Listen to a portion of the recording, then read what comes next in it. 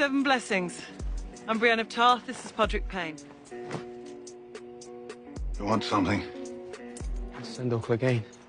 The hound.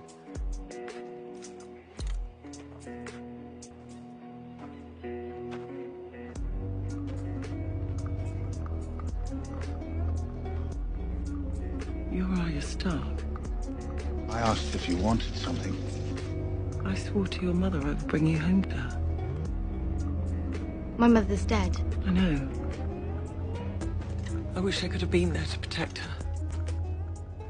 You're not a northerner. No, but I swore a sacred vow to protect her. Why didn't you? She commanded me to bring Jaime Lannister back to King's Landing.